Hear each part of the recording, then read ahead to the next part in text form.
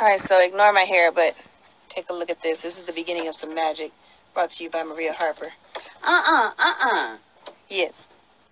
Over here entertaining mom while she makes me a new outfit for back to school.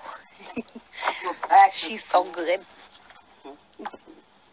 In all actuality, mom is making a bunch, really pretty much all of my outfits for Essence, which McKinney will be teaming up with McDonald's. So stay tuned, all right? So right now, she is making my pants. An awesome little pant situation, which I will see.